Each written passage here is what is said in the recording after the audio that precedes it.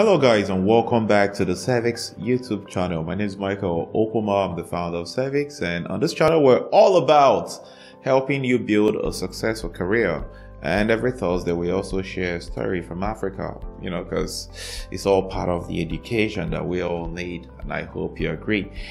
So today we're going to talk about interview day behavior.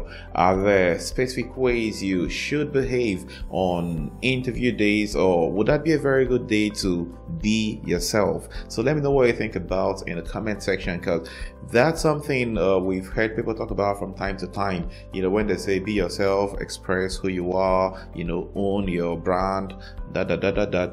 Interview days, would that be a good day to be yourself, express yourself, own your brand, and how can you make that work? How can you get that to help you succeed and get the job to which you apply. So let me know what you think about in the comment section and do well to give us a like. And if you've not subscribed to the channel, click on the subscribe button, click on the bell so you're notified every time we make new content. That helps us grow, that's good for the channel and also good for you because then you get to know firsthand every time we have something new coming your way. And if you're regular on the channel, welcome back. So good to have you. You all are my backbone, my stronghold, and thank you for always being here for me. So today let's talk about interview day behavior. So you've got invited to an interview and you're wondering other things you need to do uh, the things you remember too late you know when you've arrived and you realize you don't have a tie on or you know all that or maybe don't have the right attire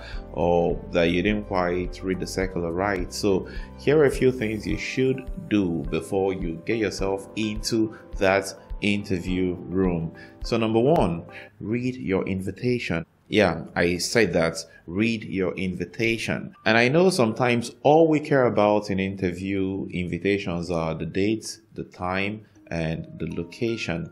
But that's not quite all the information a typical invitation comes with because sometimes they provide information about uh, what documentation they want you to come with. They want, uh, maybe they want you to confirm whether you'll be available at a certain time. And it's only important that you do that. So ensure that you read through all the documentation, read through your own applications and read through the job adverts that got you to that point in the first place. And that way you're very clear on what the organization needs and what it is you promise you are going to offer them because trust me it's going to come up in that interview. So first point do your research do your reading and you know you'd be good to go.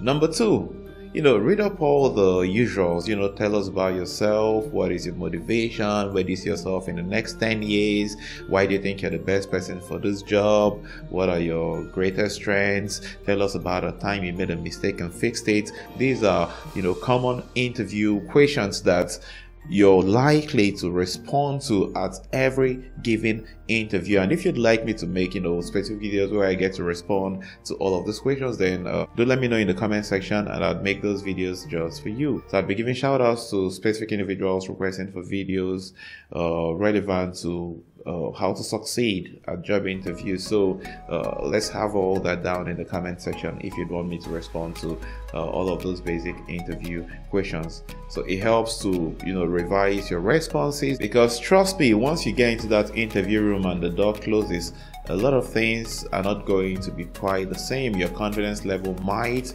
drop you know, uh, you might develop a sudden case of dry throat. Uh, you know, a lot of things can happen in interviews, and I've been in a lot myself, so I have a pretty good understanding of what I'm talking about. So prepare your responses. You don't have to use them, but it's better to have a gun and not need one than need a gun and not have one. There's a huge difference between the two, and you don't want to be caught in a mix. So, number three, groom like it's your wedding day.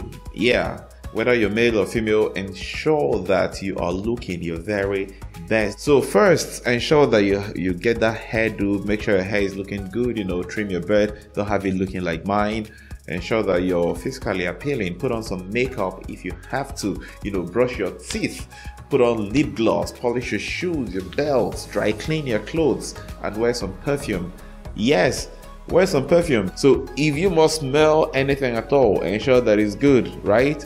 So no strong perfumes, don't put on too much, something light and then you're good to go. And know this, it's okay to borrow. For the sake of interview, it's okay to borrow. You only have one chance to make that good impression and once you miss out on the opportunity, chances are, I mean, it's gone. Number four, be punctual you know, I can't stress this enough, but know that it is super, super important that you arrive on time, possibly before the interviewers. So if you have an interview scheduled at 8 a.m., then you should try to arrive at least one hour before time. And that way you don't miss out on some of the early opportunities that might arise at the interview site. And I'm going to talk about that shortly. Next, bring something to read. So you're at interview location and you're very much on time. You know, just don't sit, cross your leg and do nothing. You know, bring something to look at. And here's a trick. Even if you don't feel like reading, you know, just have something open in front of you. It gives the impression that you're studious, that you love to learn and all that. Well, you'd probably have everybody with a book in front of them that's cool. So whatever you bring, ensure that it is relevant. You don't want to have a Cosmo, a Playboy magazine open in front of you at an interview. That will totally not give the right signals, except you're applying to those organizations. So if you're applying to a business management position and you're reading uh, Harvard Business Reviews, I mean, like that's fantastic, you know, right? And then if you are reading some journals that are relevant to the position you're applying to. Well, that helps you get some extra information, boosts your confidence, and also gives the impression that you know you're kind of the real deal and you want that. So, number five, assist the organizers. So you had interviewed location and maybe the organizers are still running around trying to uh, get things together, set up the place. Then you should offer to help them. And I have a story for you. And this actually happened in Lagos, Nigeria. So this young man was attending a job interview in a firm and you know, midway through the wait, one of the interviewers pops out of the boardroom and asks if anyone could get a specific newspaper coming from two weeks before. Now, no one in that room had that paper on them because I mean it's two weeks old. No one would have two weeks old newspaper in their bags. But this dude remembers that he saw a barber shop on his way to the interview, and as a matter of fact, not very far away. And one thing we know about barber shops is they get daily newspapers, and a lot of times they just have them stacked under the tables. So this dude ran off, uh, got to the barber shop, borrowed a newspaper, and went into the boardroom to present it to this man he would eventually get offered that job without even having to interview for it. So chances are you may not be as lucky. And a lot of times, you know, helping out, running around for interview organizers may not get you that position, but you might just make a friend and it might increase your chances at getting the position.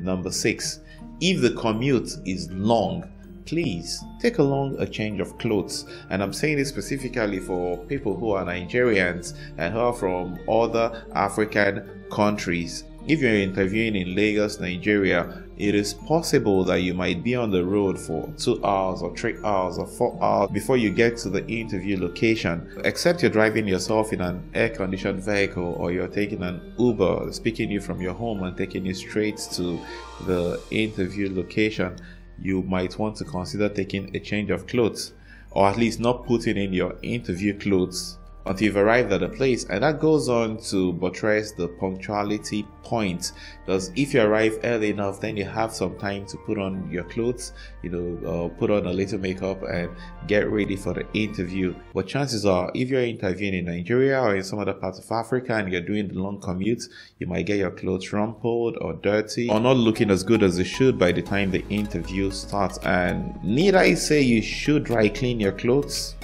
Yeah, I, I think you figured that out already. So ensure you have your clothes looking their best also. Number eight, carry copies of your credentials, but don't forget to take along the originals. Now, there are organizations that require that you present the original copies of your credentials, and that way they can cite them and go on to take in the photocopies into their records. But there are lots of other organizations that don't really care so much about those and just want to uh, you know maybe talk to you maybe they want to put you through some tests have you complete some tasks that demonstrates the skills you claim that you have but whether you've been asked to come with these documents or not, know that the typical Nigerian or African workplace is going to ask to see your credentials. So do well to carry them along. But if you didn't have to use them, then that's still fine. But you'd feel a lot worse if they had need for them and you didn't bring them along than if you brought them along and you didn't have need for them. And if you want to learn more about what you should put in your bag on your interview day, then uh, here's a video you should go check out. There it did spell all the stuff out. Alright, so moving on. Number nine, keep your energy levels up. Interview days are very important days because they have the ability to change your life for the better. The reason you're interviewing for a job is because you kind of need a change in your income status so maybe you want to go work somewhere else you're bored you're tired of where you're already working or you just don't have a job you know? So whatever the case may be you are probably not as happy as you wish you were. And then when you walk into an interview site and you find tens or hundreds of other persons waiting to clinch the same position as yourself it has a depressing effect. So there are going to be lots and lots of factors that would depress you on the day of an interview but i would encourage you to keep your energy levels up you know uh, do the chit chats if you have to you know make new friends talk to other persons. Don't just all sit and look like corpses and all that you know uh, seem happy seem vibrant seem entertaining. You know just show off a good personality if you have one. And finally, number 10, do not forget to smile. You know, smile at everyone, smile at the people you meet at the interview location, smile at your fellow interviewees, smile at the interviewers, you know, smile at yourself, just be happy. The mere fact that you made it to that place says so much about who you are and so much about how much you can achieve. So you've come a long way, you've made it to this point. The least you can do is enjoy it. So smile and hope for the best and know this. If you've made it to an interview, then chances are you have something that organizations look forward to, something they hope that they're going to need and they're going to find exciting about you. So it's your job to make the best possible impression, and the cheapest and the best possible way you can do that is by wearing a smile, having a good attitude, and ensuring that overall you look good and acceptable and that you're ready to answer all those fun interview questions. And to answer the question as to whether you should be yourself or whether you should just you know act up for the interview. I think from all the 10 tips i've provided it's pretty clear you have to do some level of acting because this is the day you want to make a lot of great great impression. So if you're a performer and that resonates with who you are on a very deep level and you're auditioning for a role then go on and be yourself you know. Show off all the stuff performers do but if you are a very dramatic person and you are interviewing for, you know, a pretty serious job role where you won't need your drama at all, then it might not be your best interest to go up and show off all the drama king or drama queen personality that you have because that would be you shooting yourself in the foot. So here is my very simple take.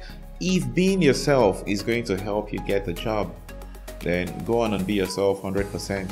But if being yourself is not going to help you get a job, then you probably should not be yourself on interview day. I know there's a deep difference between being objective, which in this case would be doing whatever it takes to get a job, and finding satisfaction in that job position. So it's all up to you to put all these on the scale and ask yourself these important questions Do I want to be myself at the expense of getting a job?